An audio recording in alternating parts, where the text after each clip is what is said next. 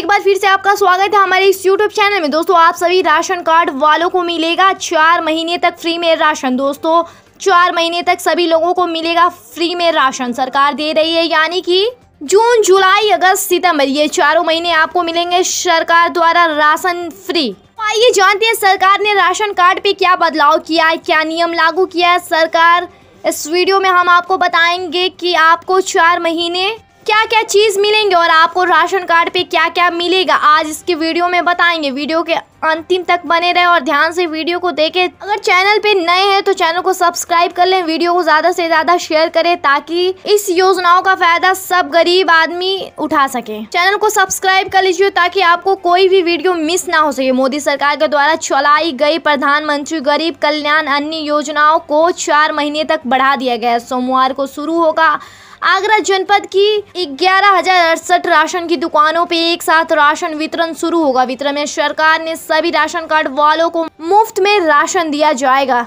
जिसमें दाल, चीनी, गेहूँ, नमक, तेल, चना, मटर, प्याज, आलू सब आपको मुफ़्त में दिया जाएगा। तो दोस्तों, आप चार महीने तक राशन कार्ड वालों को फ्री में राशन दिया जाएगा। वीडियो अगर पसंद आए तो वीडियो को लाइक करें, चैनल पर अगर नए हैं तो चैनल को सब्सक्राइब कर लें। हमें अपने कीमती समय देने के लिए धन्यवाद।